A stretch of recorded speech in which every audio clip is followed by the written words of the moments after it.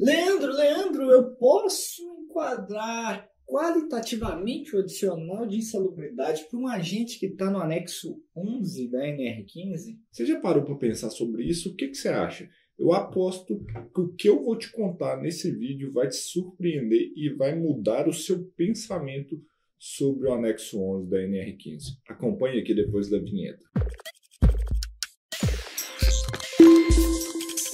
Fala galera, vocês estão respirando bem por aí? Eu sou Leandro Magalhães, higienista ocupacional certificado, especialista em riscos químicos para higiene ocupacional e criador do método HO Fácil Agentes Químicos, um método que te ajuda, te mostra o caminho para você dominar os agentes químicos e se destacar na higiene ocupacional. E eu sou também diretor executivo da Analytics Brasil, laboratório de análises químicas que é o seu porto seguro na tomada de decisão sobre as avaliações ambientais dos agentes químicos para HO. E no nosso vídeo de hoje do quadro Analytics Responde, eu vou falar sobre enquadramento qualitativo dos agentes químicos do anexo 11 da NR15. Espera aí, enquadramento qualitativo no anexo 11 da NR15, você deve estar pensando assim: o Leandro pirou. O Leandro pirou porque o anexo 11 é quantitativo e etc.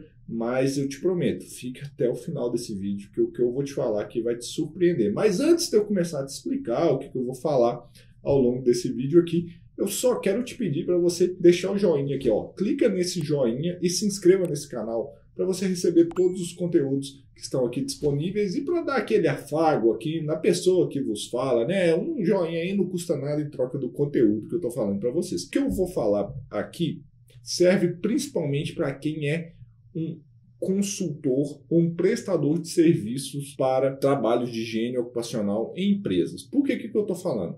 Porque eu venho de uma linha que eu mostro, inclusive dentro do método HO Fácil Agentes Químicos, que a gente tem que fazer o uso racional da higiene ocupacional. Não é sair gastando dinheiro aí à torta e à direita, a qualquer custo é, para o cliente pagar, não, porque isso não demonstra valor. E o que eu vou te falar aqui hoje vai abrir sua mente e você vai gerar muito mais valor para o seu cliente. Porque que, que acontece? O anexo 11 da NR15, ele explicitamente é um anexo quantitativo. Para se pagar o adicional de insalubridade, as exposições daqueles trabalhadores têm que estarem acima dos limites de exposição ocupacional e sem um controle, seja por EPI, etc. Então, eu tenho que ter uma exposição do trabalhador acima do limite. Mas e que horas que entra essa história do qualitativo aí? Porque o que, que acontece? Um bom higienista ocupacional, como os higienistas que eu tenho formado dentro do método da Galfaço Agentes Químicos, eles têm um olhar crítico para essas avaliações, porque eles entendem que higiene ocupacional não é só fazer medição, medição atrás de medição. Eles têm a capacidade de reconhecer riscos no ambiente de trabalho. E isso muda o cenário. Porque o que, que acontece? Existem algumas ferramentas que você utiliza para te ajudar no reconhecimento de riscos, como, por exemplo, inventário de produtos químicos e análise preliminar de riscos para a higiene ocupacional. São duas ferramentas essenciais para o higienista ocupacional. Se você não sabe o que eu estou falando, fique tranquilo, porque a grande maioria dos profissionais realmente não sabem disso quando eu começo a falar. A grande maioria, infelizmente. O que, que acontece? Com o anexo 11, fica claro que se você é um perito, se você está indo a fazer uma perícia, principalmente uma perícia judicial, é essencial que você peça uma avaliação quantitativa para se resguardar, porque Existem muitas nuances jurídicas atrás de uma perícia, de uma ação judicial e etc. E às vezes você fazer um enquadramento qualitativo, você pode ser questionado. Então, se você é um perito, se você está trabalhando na justiça, peça para fazer a medição e peça o orçamento. Mas o que eu vou te falar agora veio do aprendizado durante a minha atuação nos Estados Unidos e durante um dos treinamentos que eu fiz lá na AIA. Ah, mas você já deve estar tá pensando. Ih, lá nos Estados Unidos não tem adicional de insalubridade, etc. Mas deixa eu te contar, lá também existem causas judiciais para compensação financeira caso a exposição de agentes químicos. E te falo, lá envolve quantias muito maiores que aqui no Brasil, caso alguém adoeça, por exemplo. E durante um treinamento lá, a gente estava debatendo essa questão de medições para principalmente compliance em relação a, a, agentes né, químicos, e o pessoal estava falando, será que realmente é necessário? E uma das coisas que abriram minha mente, e isso é totalmente válido para você que está fazendo um laudo de insalubridade, prestando uma assessoria ou está dentro de um SES metido em uma empresa, é você consegue gerar evidências qualitativas que aquelas exposições daqueles trabalhadores são desprezíveis frente ao limite, isso é o principal.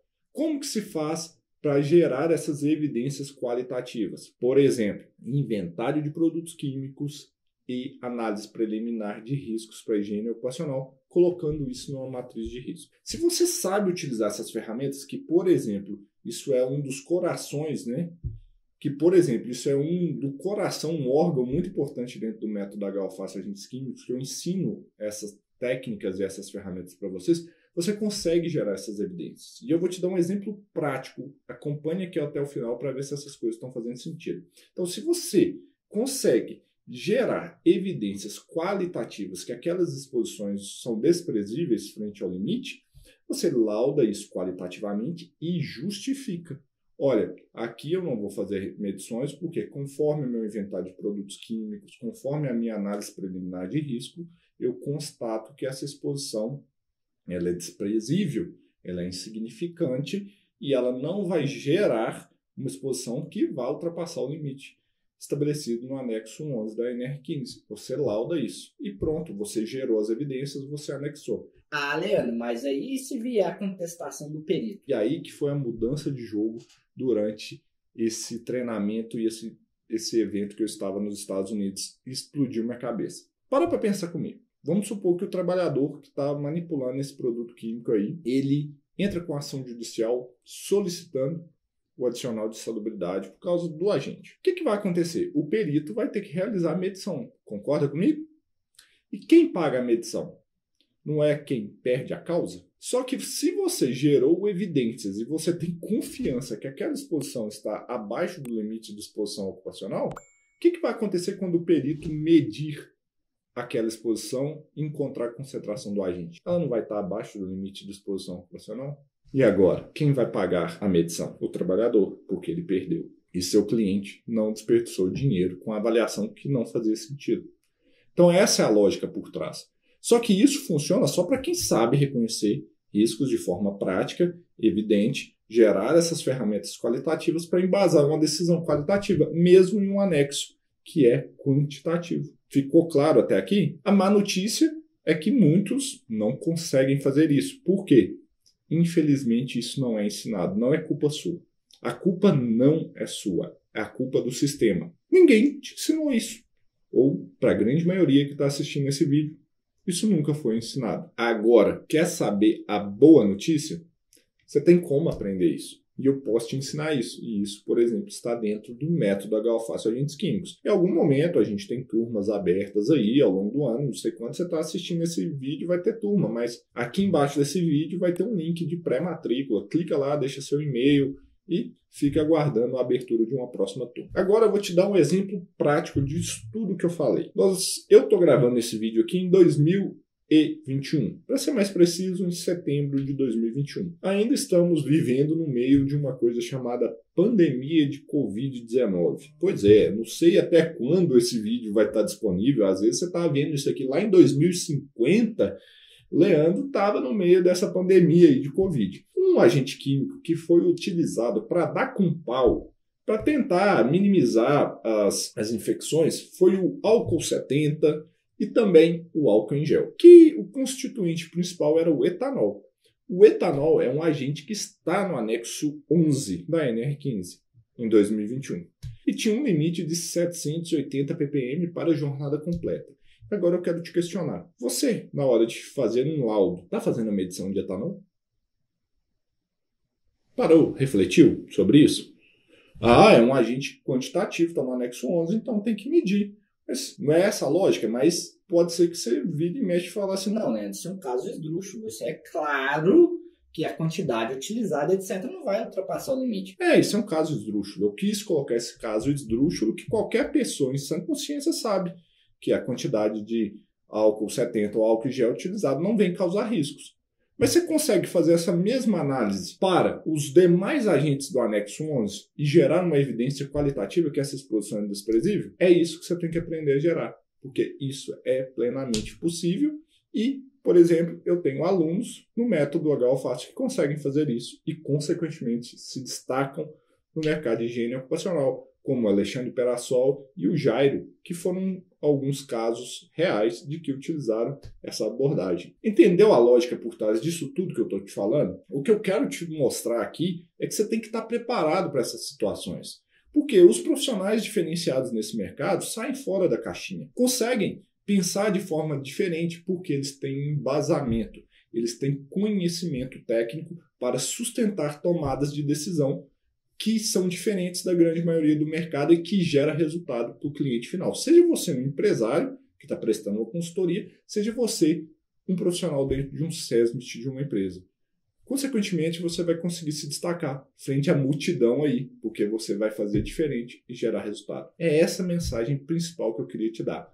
Fez sentido isso tudo que eu te falei? Eu consegui abrir a sua mente e explodir a sua cabeça para essa questão dos agentes quantitativos do anexo 11? Espero que sim. Deixa aqui na área de comentários se isso que eu falei faz sentido, se você concorda totalmente comigo, fala aí também, porque é bom debater e podemos gerar mais conhecimento, interagir e evoluir nessa discussão. Deixa aí comentando aí embaixo que eu espero que eu tenha te ajudado. E no mais, se você gostou desse vídeo, clica no joinha aqui, isso é muito importante para mim, me ajuda muito a levar esse conteúdo para mais pessoas que precisam dessa informação, assim como você. E se você ainda não está inscrito no nosso canal do YouTube, se inscreva aqui embaixo tem um botãozinho vermelho, clica nele, ativa o sininho que você vai ser notificado de todos os conteúdos que a gente gera e vai te ajudar a literalmente dominar os agentes químicos e se destacar na higiene ocupacional. Só para finalizar esse vídeo aqui, para fazer um momento descontraído, é o seguinte: se você discorda comigo, tá tudo certo. Você quer medir?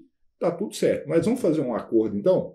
Se você for fazer medições e medições e medições, tá tudo certo, desde que você mande aqui para mim na Analytics Brasil, beleza? É o meu laboratório, já te dei dicas, você discordou de mim, então só centraliza isso tudo em mim aí porque em troca desse, desse conhecimento que nós estamos aqui, e no seu caso, dessa discordância, beleza? Brincadeiras à parte, é, a Analytics está aqui para ajudar vocês. Se precisar falar com a gente, entre em contato com o nosso time comercial, que vai ser um prazer em te atender.